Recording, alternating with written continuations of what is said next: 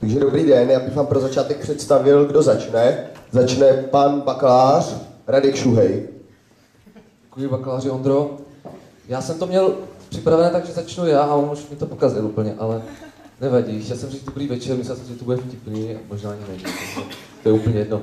Každopádně, co bych chtěl říci o našem projektu, o našem týmu spíš teda. Čtyři z našeho týmu nevystudovali KISK. Čtyři z pěti lidí nevystudovali KISK, pět z pěti lidí tady nikdy nebylo, a my jsme teda nevěděli, jak to pojmout, že je to prostě free, kulín, kulín, funny, jo, a tak jsme si připravili, že tady bude dvoumetrové plátno, QR kód a přeskočíme přes to a sníme rybičku, on vyzvrací. A, a nic z toho nebude prostě. Jak jsme si řekli, že to, je, to už by bylo trochu, trochu moc. No. A uh, Infonow, ten název se měnil asi čtyřikrát, to QR Shuttle a City Info a Fun Info a Bůh ví co ještě prostě. Uh, takže možná se to ještě, ne, to se nezmění, no, doufám teda. A slyšeli jste o tom někdy? Slyšeli jste někdy o Infonow?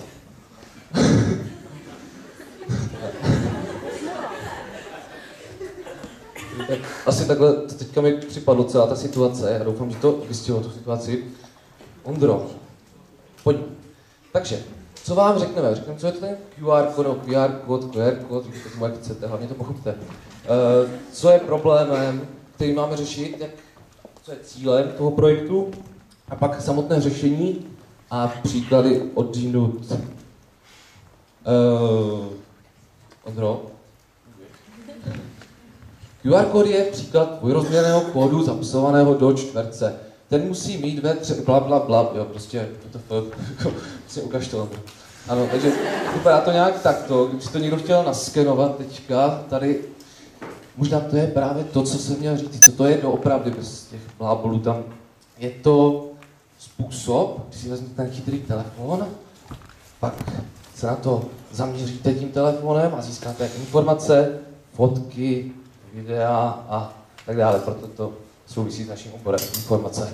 Informace, informace. Já, možná to také abstraktní. Jestli je to abstraktní, tak uh, Ondro, prosím tě,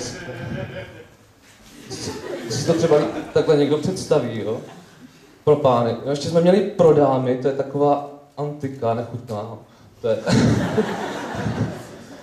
prostě dej to pryč, jo? Uh, problém. Problém, když řešíme, je nezájem, nevědomost prostě mladých lidí o město Brno, teda zejména studentů, vysokoškolských studentů, studujících v Brně, ale i samotných obyvatel města Brna a absence informací přímo na místě. A to je právě to, čím je ten projekt takový charakteristický. Informace přímo na místě, proto Infonow. Z toho vyplývá ten název teda nakonec. Ondro, cíl. Cílem je zvýšit povědomí o městě prostřednictvím distribuce informací přímo na místě, na, přímo na dané místo. On dělal Ondra, trochu mě to nevyhovuje, ale to nevadí, ten obraz se mi strašně líbil. A Ondro, myslím, že na, přichází tvoje chvíle. Pořádně pusy, já to občas nedělám. Takže dobrý den. Já bych začal asi tím, jak to bude teda v reálu fungovat, ten náš projekt. Takže Radku, poprosím tě střídání stráží, jo. Ještě to nemáme úplně vyladěný, neprezentovali jsme spolu ještě moc krát, vlastně nikdy teda. No, takže tady k tomu, jak bychom to chtěli my řešit.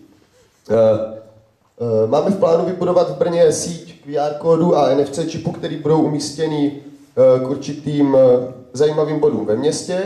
Ty body by měly být vždycky spojený dle nějakého jejich jako signifikantního znaku do takových třech okruhů.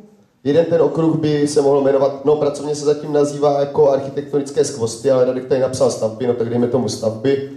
Eh, potom další okruh, ten by se měl věnovat eh, především místům, které potřebuje znat eh, prvák, pokud přijde do Brna, takže třeba by to byly místa, kde se dají zakoupit šalinkarta, kde se dá zajít levně na pivo, nebo třeba knihovny.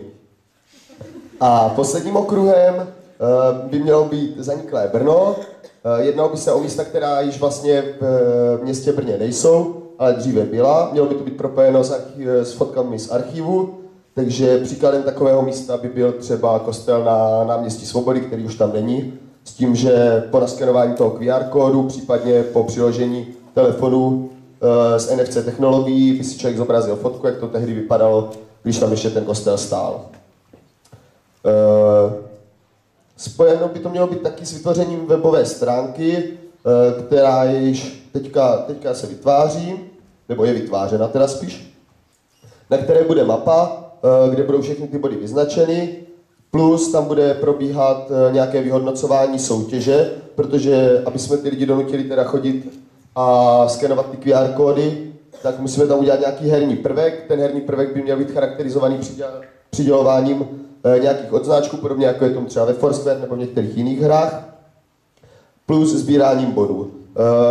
Naše představa je taková, že ve chvíli, kdyby někdo obešel celou tu trasu, dostal by od nás, od nás nějaký fyzický odznáček, který si může dát na kabelu a pochlubit se všem, který potká po cestě, že teda obešel ano, opravdu všechny stavby, které jsou jako architektonicky významné. No, je tady ještě jedno riziko, že selže technika, jo? to se taky může stát, třeba tady jako prostě zaostřování obličejů na foťáku Nikon, takže proto jsme se právě rozhodli o to rozšíření eh, na ty NFC čipy, ačkoliv dneska to zatím moc telefonů eh, nemá tuhle technologii, tak přece jenom může být jako spolehlivější. Já myslím, že v rámci toho, že ten projekt eh, by měl cílit spíše do budoucnosti než do minulosti, tak to bude dobrý tam zahrnout. Tak tolik k tomu asi, k tomu řešení. No. Jo, a ještě, ještě jsme si pro vás připravili takovou uh, aktivitu, ono v rámci tady těch konferencí vždycky nakonec je napsaný nějaký networking, jo. Prostě taková představa, že všichni budou najednou, budou se spolu bavit jen tak bezdůvodně. Ale my jsme si teda rozhodli, že to trošku podpoříme, tady tuhle aktivitu. Takže jsme vygenerovali pro všechny účastníky konference unikátní QR kód. Bude to zároveň probíhat jako, taková, jo, jako takový malý nácvik, jak s tím QR kódem pracovat. Uh, teďka jenom, abych to představil. Tady v téhle skleničce je to eh, skoro náhodný výběr, ale můžete si trošku pomoct, koho si vyberete, jo. Není to tam nikde napsaný.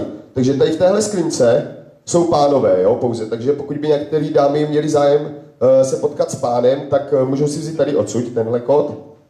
Tady jsou dámy pouze, takže pánové, kteří by se chtěli seznámit s nějakou slečnou, doporučuji tohle.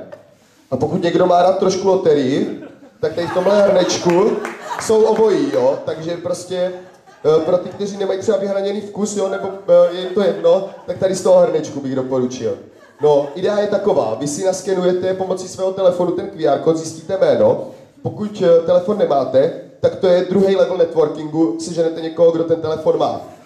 Ten vám to naskenuje a cílem je toho člověka najít. Ten člověk, když bude nalezen, tak by bylo velmi pěkný, pokud by toho, kdo si dal tu práci, ocenil třeba tím, že ho pozve na kávu, panáka, pivo, či cokoliv jiného, anebo, nebo třeba do knihovny. Takže tolik k tomu. Budu rád, když si všichni vezmete a budete se hledat. Jo, takže eh, tady jsou dámy, jo. Ono je to trošku nekorektní, ale je to půl litr. Předpokládal jsem, že nejčastěji pánové šáhnou po půl litru, jo. Tady v té druhé skleničce tam jsou, tam jsou páni a prnečku teda nevyhranění pro oboje.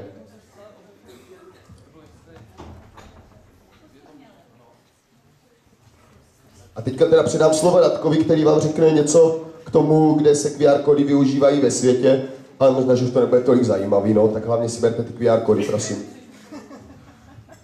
Já jenom nevím, jestli kolega stihl říct, že se pak má ten člověk pozvat na panáka minimálně, když vás najde. Aby měl motivaci, jsi to? Jak na kafe? Um, příklady odinut. Ty QR kódy se vlastně používají po celém světě v různých muzeích, galeriích, kavárnách, restauracích. Já jsem nedávno navštívil tady jednu restauraci a místní toaletu, bych vykonal malou potřebu a právě, když jsem se zrovna nedíval, kam bych se dívat měl, jako zamířil správně, tak jsem se podíval před sebe a viděl jsem ten QR kód. Takže to využití je opravdu široké. Uh, já jsem si toho dřív nevšímal, ale dneska vždycky, když prostě někde vysí, tak vidí. Je to děsí. Uh, QR Peria, to je takový systém, založený na, eh, je to mobilní systém založený na webu, který spočívá, eh, nebo jeho, který vlastně spolupracuje s Wikipedií a jeho předností je, že máte dané informace v tom preferovaném jazyce. Eh, pak městečko Monmouth je malé městečko ve Walesu a je to první wiki městečko na, QR městečko na světě. Wiki městečko. No, to, a vytvořili dokonce z Wikipedii projekt Monmapedia a spolupracují na tom. Uh, už se to dokonce používá v Praze 10 QR kódy, můžete to vidět na různých památkách, v zoologických zahradách, před uh, voliérou pro nějaké přiblížení toho zvířectva. Uh, pak Poličce, dokonce uh, město Polička má na svých stránkách mapu, v té mapě jsou různé body a ty body se zase sbírají. Je tady někdo z Poličky? Výborně. já ne. A základní škola Albrechtice, to si myslím, že je nejlepší příklad, kdy vlastně děti uh, chodí do přírody, tam hledají ty QR kódy a následně vlastně zjišťují ty informace, které by jinak zjišťovali ve škole a baví je to právě proto, že se využívají ony chytré telefony. A pak ještě takový příklad z Ameriky, kdy už se začínají dávat i na náhrobky. Myslím si, že k tomu mám ještě daleko tady, doufám teda. Trochu děsí. Děkujeme za pozornost a případné dotazy doufám, že nebo budou takové mírné a na ten první odpovím rovnou. Ano, bude to fungovat i v nedělu, bude.